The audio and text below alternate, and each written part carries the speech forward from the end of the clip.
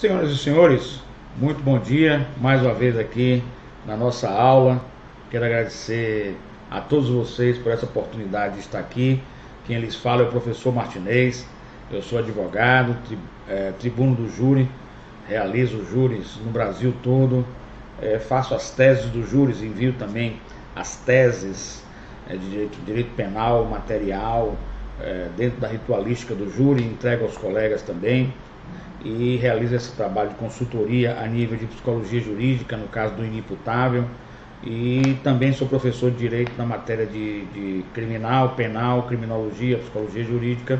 Quero agradecer a todos vocês por essa oportunidade de estar aqui nessa aula maravilhosa, agora na nossa cidade maravilhosa de Alagoinhas, fazendo essa pós-graduação aqui maravilhosa de ciências criminais. É, mas eu é, algumas aulas eu coloco algumas questões de utilidade pública antes de iniciar. Meu zap, para quem quiser, tem alguma dúvida, qualquer coisa, o WhatsApp é, é sempre adicione no WhatsApp 719 9103 0089.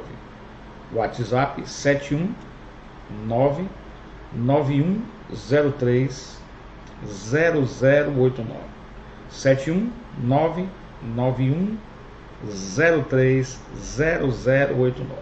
719 9103 0089. Mais uma questão de utilidade pública, que é para todos nós, acadêmicos, né? a questão do coronavírus, ou Covid-19. Aqui nós estamos recebendo uns zaps e várias informações, eu checo antes a informação. É uma estudante de medicina, a Laila Amadi, da China, estudante da Faculdade de Ciências Médicas é, da Universidade de Zhanjiang. Ela diz que o vírus corona, ou Covid-19, chegará a qualquer país, mais cedo ou mais tarde. E não há dúvida de que muitos países não possuem nenhum kit ou equipamento de diagnóstico sofisticado. Então, não existe nenhum país, segundo a estudante de medicina Laila Ahmad, da China, não existe nenhum país com um kit sofisticado para um diagnóstico preciso. Prossegue então a Laila dizendo, a Laila, perdão, é, usem o máximo de vitamina C, muita ingestão de água, lavem as mãos com água e sabão, e não fiquem em locais aglomerados. Ela diz ainda mais: o vírus, o vírus ainda não tem vacina, ele é letal e tem mais aqui do que eu estou recebendo é, de outro, outro estudante também da China. A mídia está escondendo muita coisa, está mentindo. A grande mídia está mentindo para atingir interesses econômicos posto que os, muitos dos países já afetados deveriam estar com tudo paralisado, pelo menos durante uns 15 dias. Só assim evitaria a propagação. Eu pergunto ao senhor e à senhora, eu também faço a questão é, da comunicação social. Eu pergunto ao senhor e à senhora, o Brasil já não teria que ter medidas mais drásticas da vigilância sanitária com referência à entrada de pessoas no nosso país, ou até mesmo umas paradas estratégicas para as nossas, as nossas, a nossa sociedade evitar a contaminação, já que o vírus está no Brasil, sem dúvida nenhuma, agora Itabum, é, Feira de Santana, na Bahia, a moça foi para a Itália, voltou, entrou no aeroporto nosso, nós fizemos alguma fiscalização nela? Ah, veio assintomática mas é, são pacientes para estar em observação. A China conseguiu reduzir a propagação desse vírus porque parou. As cidades pararam. Não interessa a questão econômica nesse momento. O momento é de salvar a vida humana. Então será que a gente não devia ter, já, já ter parado? Tivemos carnaval, continuamos em, em, em toda atividade nossa, achando que está tudo normal. Não vai só matar idoso, tá? Estou recebendo aqui. É uma informação também que é perigosa. Esse vírus é fatal, esse vírus vai matar muita gente e vamos ficar de olho. Será que não teria um momento da gente parar uns 15 dias ou uma semana em todo o Brasil? Ou nos, nos locais onde já tem pessoas infectadas para uma análise, para diminuição da sua propagação? Será que é este momento ou não? Não estou julgando quem, o julgador aqui, o senhor e a senhora. Será que nós, as nossas autoridades, o nosso povo está sendo responsável com tudo isso? Eu não sei. Eu sei que o vírus é fatal, ele está em mutação, ele, ele vai desenvolver bastante e vai, pode matar muita gente. É pandemia. É quando existe é, a propagação de uma doença no mundo todo. Então é caso muito grave que nós deveríamos estar analisando com muito mais seriedade, vagar e não achando que é uma simples gripe ou uma síndrome respiratória simples que a gente possa combater. Não é. Vamos ter cuidado com isso. Vale a pena o senhor e a senhora analisar essas informações e não ir pela grande mídia. A grande mídia está mentindo, não só nacional como internacional. Mentindo para evitar o pânico, mentindo para evitar que hajam prejuízos financeiros maiores. Mas já, já, já assisti vídeo na internet de que a Alemanha já começa em recessão porque está fechando algumas coisas. Ah, a Itália é totalmente fechada, Milão, um grande centro econômico. A Inglaterra escolas fechando para poder parar um pouco a propagação ou verificar que tipo de propagação é, nós teríamos aí é, que possa prejudicar a nossa, a nossa situação. Enfim, nós estamos vivendo um caos e nós estamos dormindo em berço esplêndido. Essa é a minha mensagem para os senhores e senhoras de utilidade pública como professor universitário. Bom, vamos ao nosso tema de hoje, que é o homicídio qualificado. Direito Penal 3, que é o homicídio qualificado. O crime de homicídio, que significa matar alguém, tirar a vida de alguém, ele possui ao todo 22 qualificadoras. Em todos esses casos, a pena passa a ser de 12 a 30 anos de reclusão. É um crime cuja competência seja tentado ou consumado a competência é do tribunal do júri, por ser erigido a termos constitucionais, né? É, no sentido de que tirar a vida de alguém no seio social não é permitido, porque é uma coisa gravíssima, geraria o caos social se todos nós nos matássemos. Então nós temos que levar isso a nível constitucional e os seus pares na sociedade, sete jurados leigos, em última instância, é quem vai julgá-los. Vai julgar aquele agente, aquele autor ou suposto autor ou réu que está sob julgamento no caso de crime contra a vida. Assim, quando ele se torna qualificado, ele se torna mais grave, porque houve elementos, circunstâncias que aumentaram a sua potencialidade lesiva, aumentar a sua valoração de dano ao bem jurídico, aumentar a periculosidade do agente, aumentar a repercussão psicossocial. Então, qualificado homicídio, ele tem natureza hedionda. Ele é crime hediondo, o que altera sensivelmente o regime de cumprimento de pena. A, claro, a classificação das qualificadoras, analisando os sete incisos que descrevem as figuras qualificadas do homicídio, é possível perceber que estão elas agrupadas de acordo com as características mais comuns pertinentes a cada caso, certo? Mais comuns pertinentes a cada caso. Para a leitura do texto legal, é fácil notar que alguns se referem ao motivo do crime, outros ao meio ou modo de execução, e que alguns decorrem da conexão do homicídio com outro crime. No feminicídio, que é aquele crime que é, é cometido contra a mulher pelo seu gênero, por fim, o crime é qualificado porque cometido contra a mulher em razão da condição do sexo feminino. Então vamos anotar agora um quadro abaixo com que as qualificadoras são é, classificadas. Vamos lá, todo mundo anotando, gente? Feita estas considerações iniciais, vamos anotar direitinho Todo mundo aí com calma, mas vamos anotar aí direitinho. Vamos lá, todo mundo anotando. Primeiro, quanto aos motivos. Primeiro, são cinco. Primeiro, quanto aos motivos. Pode ser por paga, vírgula, paga pagamento, vírgula, promessa de recompensa ou outro meio torpe. Gente torpe, T de Tatiana, O de Orlando, R de rato, P de Paulo, E de elefante, vírgula, motivo fútil, vírgula, homicídio contra integrantes das Forças Armadas, homicídio contra integrantes das Forças Armadas ou policiais no exercício ou em razão da função. Anotaram?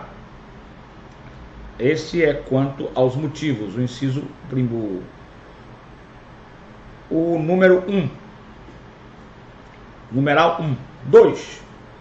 Quanto ao meio empregado. Veneno, vírgula, fogo. Gente, fogo, F-O-G-O. Terceiro, explosivo.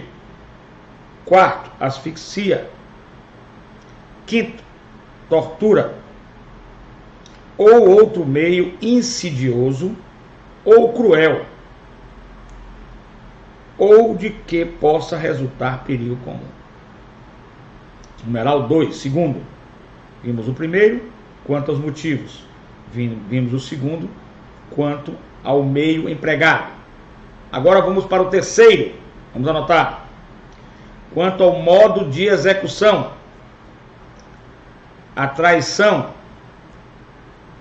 vírgula, emboscada, vírgula, dissimulação ou outro recurso que dificulte ou torne impossível a defesa do ofendido dissimulação ou outro recurso que dificulte ou torne impossível a defesa do ofendido. Quarto, numeral 4, por conexão. Vamos lá anotar, gente, vamos lá. Por conexão, para assegurar a execução, vírgula, a ocultação, vírgula, a impunidade ou a vantagem de outro crime. Por conexão, para assegurar a execução, vírgula, a ocultação, vírgula, a impunidade ou a vantagem de outro crime. A gente vai ver cada um desses tópicos, dando um gráficozinho para vocês situarem quais são as modalidades do crime qualificado, né? Principalmente quanto às suas características comuns e seus agrupamentos. Quinto, em razão da condição do sexo feminino. Aí é uma característica especial, comum aos crimes de feminicídio. Feminicídio. Na primeira modalidade, o delito é considerado mais grave em decorrência de o motivo do crime ser considerado imoral ou desproporcional. A gente vai ver imoral é o, tor o torpe, desproporcional é o fútil. Na segunda, o legislador elencou formas de provocar a morte da vítima que lhe causam grave sofrimento, grave e grande sofrimento, ou em que o agente atua de maneira velada, ou ainda com a provocação de perigo a outras pessoas, o que inegavelmente justifica maior reprimenda. Na terceira, o legislador considerou mais graves os crimes praticados de tal maneira que a vítima tenha ficado à mercê do homicida, sem possibilidade de defesa. Na quarta, o homicídio é considerado qualificado quando cometido em razão de outro crime. Aí uma conexão, uma ligação, um link com outro crime certo? Um link com outro crime. Por fim, a quinta, no feminicídio, o crime é considerado mais grave por ser cometido contra a mulher em razão da condição do sexo feminino. Qualificadoras de caráter subjetivo e de caráter objetivo. Vamos lá? Qualificadoras de caráter subjetivo e caráter objetivo. Importantíssima essa classificação. Além da classificação já estudada, são as características comuns ou núcleo comum do crime, existe outra que subdivide as qualificadoras entre aquelas que possam ter ou que possuem caráter subjetivo e as que têm caráter objetivo. Essa distinção é de suma importância para a compreensão de muitos temas que serão a seguir analisados.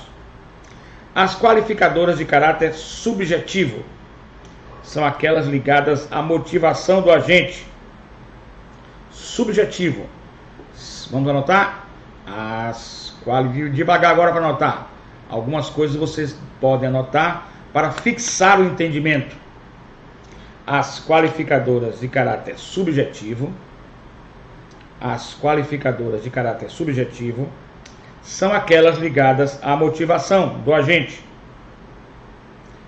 sendo de suma importância ressaltar que além das hipóteses de motivo torpe e fútil, as qualificadoras, vamos repetir, o pessoal está atrasado aí, vamos lá. As, vou repetir. As qualificadoras de caráter subjetivo são aquelas ligadas à motivação do agente, sendo de suma importância ressaltar que, sendo de suma importância ressaltar que, além das hipóteses de motivo torpe e fútil, as qualificadoras decorrentes da conexão também inserem-se nesse conceito. Com efeito, prosseguindo, embora possuam uma classificação autônoma decorrente do vínculo, conexão, abre parênteses, vínculo, depois de vínculo, abre parênteses, conexão, fecha parênteses, do homicídio com outro crime, é inegável que, quando o homicídio é cometido, por exemplo, quando o homicídio é cometido, por exemplo, para assegurar a execução ou a impunidade de outro crime, o que está tornado o delito como qualificado é o motivo pelo qual o agente matou a vítima. Se torna motivo, se forma, se torna o motivo, se insere na motivação. A exemplo, assegurar a execução ou a impunidade. As leis, anota aí, as leis. 13 mil, vamos anotar, gente. As leis. 13.104, as leis. 13.104, 2015 e 13.142 de 2015 acrescentaram duas qualificadoras que, no entendimento do professor Vitor Eduardo Rios Gonçalves, no entendimento do professor Vitor Eduardo Rios Gonçalves, são também de caráter subjetivo. Quais sejam? Dois pontos feminicídio e homicídio de policial ou integrante das Forças Armadas, policial ou integrante das Forças Armadas,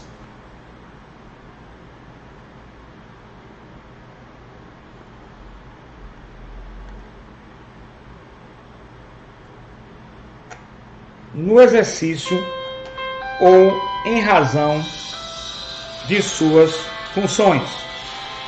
Estamos aqui recebendo mais ligações aqui do pessoal com dúvidas e eu vou tirar. Diga, meu querido, estou em aula. Pode vir. Mas pode vir para cá para o escritório. Depois da aula a gente vai para o escritório. Viu? Venha para cá, daqui uns, uma meia hora mais ou menos. Um abraço. Tchau. Então, aqui recebendo ligações de alunos que estão interessados em vir. Então, integrantes das Forças Armadas, feminicídio e homicídio de policial integrantes das Forças Armadas no exercício ou em razão de suas funções. Isso nos remete a o numeral 1 das características comuns do núcleo comum, que são motivações como motivo torpe, fútil e o homicídio contra, contra integrantes das Forças Armadas ou policiais no exercício em razão da sua função, caracterizando como homicídio qualificado de caráter subjetivo. De ver-se, entretanto, que, em razão ao feminicídio, de ver-se, de observar-se, gente, precisa copiar exatamente como eu estou falando. Vocês podem ter o poder de síntese e o poder de criar. Existe corrente que sustenta tratar-se de qualificadora de caráter objetivo, na hipótese em que cometido em situação de violência doméstica.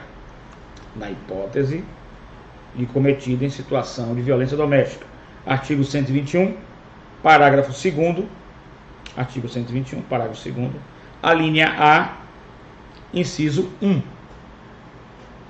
A esse respeito, existem muitos comentários e muitas teses que aventam essa possibilidade.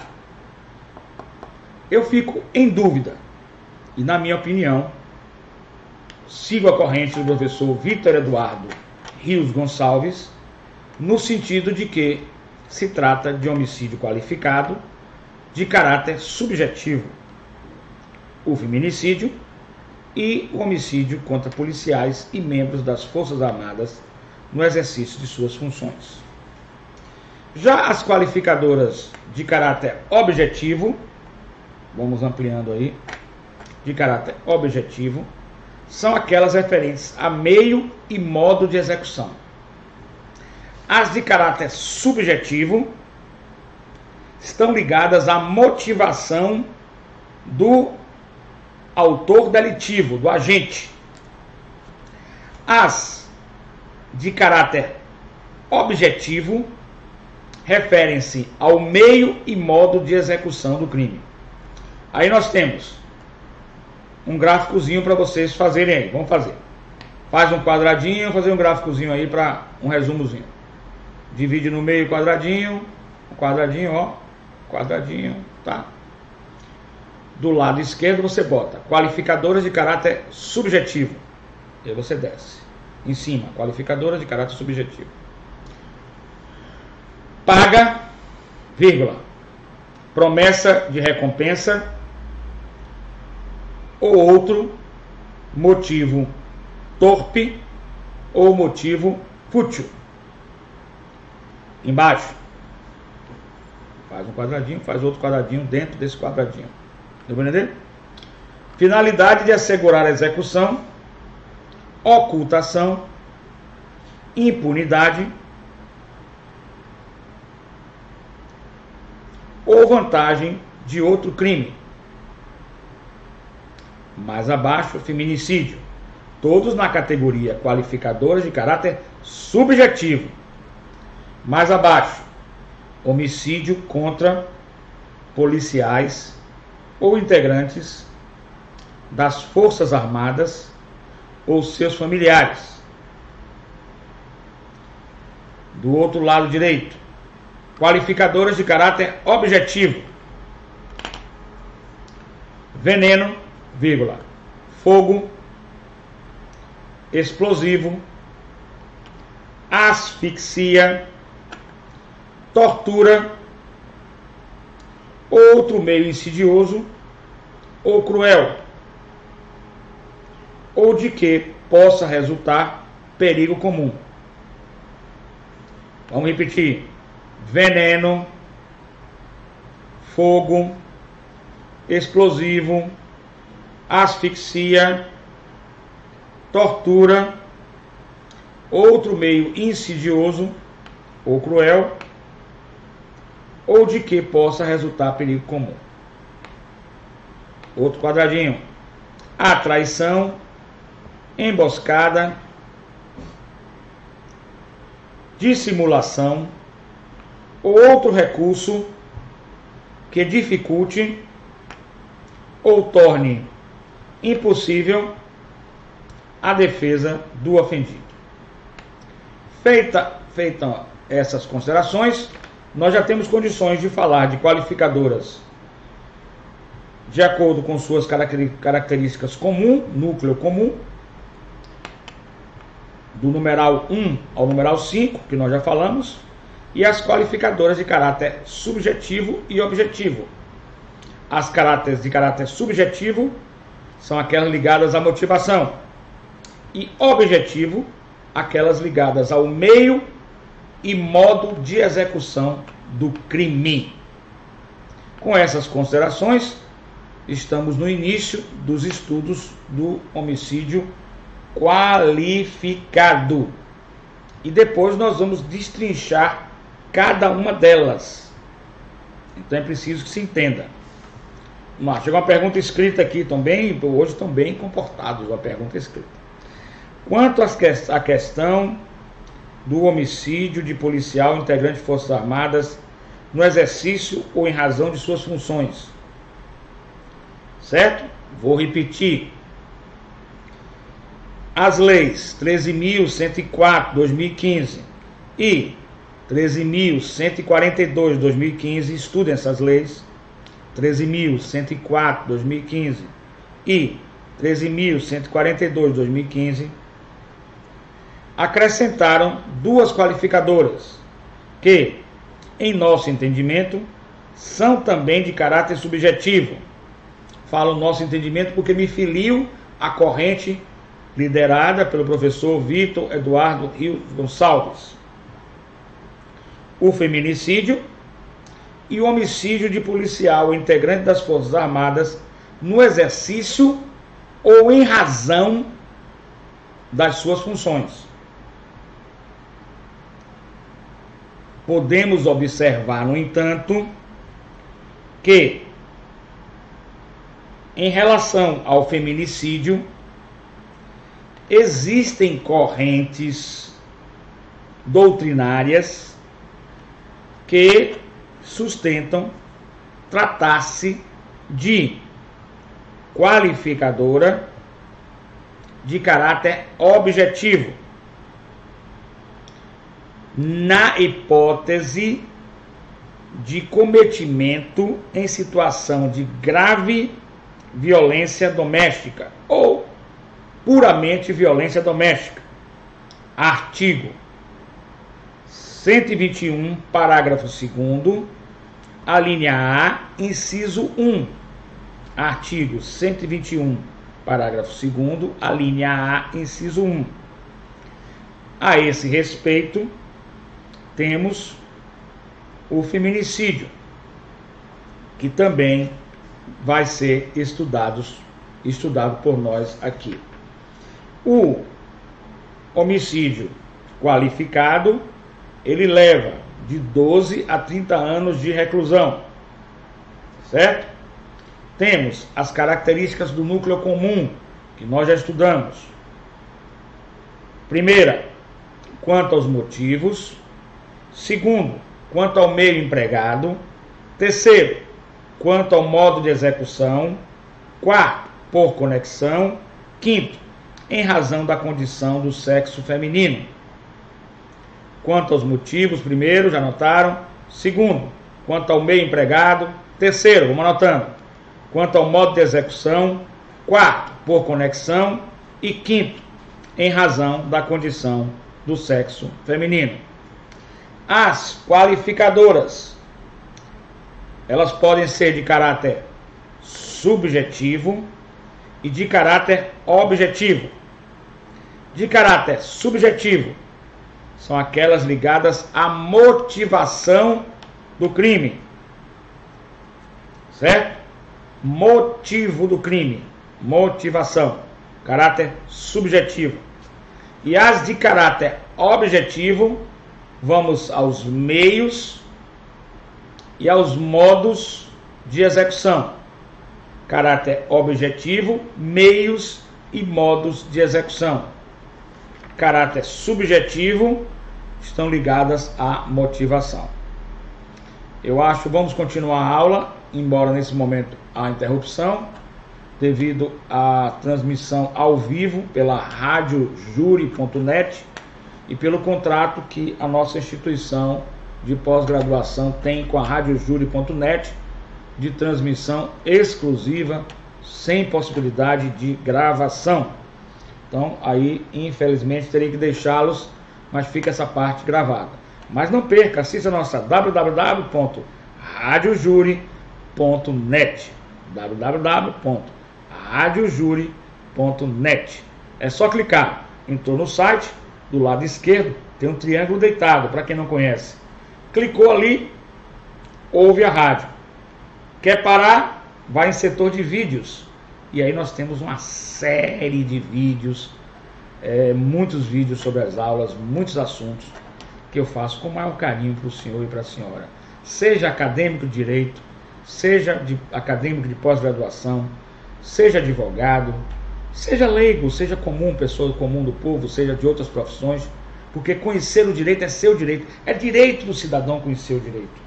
Não para ser jurista, operador, mas para conhecer o direito. É seu direito. Conhecer o direito melhora o cidadão. Conhecer o direito faz com que a pessoa conviva melhor em sociedade. Saiba respeitar os direitos dos outros, saiba respeitar o seu direito, saiba melhor resolver os conflitos de forma pacífica. Muito obrigado pela atenção de todos vocês, meus amigos. Até o próximo encontro. Vamos continuar com a aula ao vivo aqui da graduação www.radiojuri.net. Assista aí, ouça no caso, que é pela rádio. Ao vivo aí para vocês a continuação dessa aula de pós-graduação de Ciências Criminais. Para meus alunos de graduação, fica também o Direito Penal 3. Professor Martinez, eu atuo em todo o Brasil nas sessões do júri faço as teses defensivas, as teses de acusação. Qualquer dúvida, liga para mim, WhatsApp. Liga no WhatsApp 719 9103 0089 719 9103 0089 Professor Martinez, um abraço, que o nosso Senhor Jesus Cristo lhe abençoe, possa lhe dar um final de semana maravilhoso e que Deus me abençoe a ter uma aula excelente aqui com nossos queridos alunos em Alagoinhas, que devido a uma pequena chuva aí parece que não está não tá vindo muita gente, mas estamos aqui fazendo a nossa aula. E que possa ter um retorno a Salvador mais tranquilo e suave e acompanhado por Deus, protegido por Deus. Deus abençoe vocês. Um abraço, até o próximo encontro. Professor Martinez, WhatsApp 719 9103 0089. 719 9103 0089. Muito obrigado, amigos. Até o próximo encontro.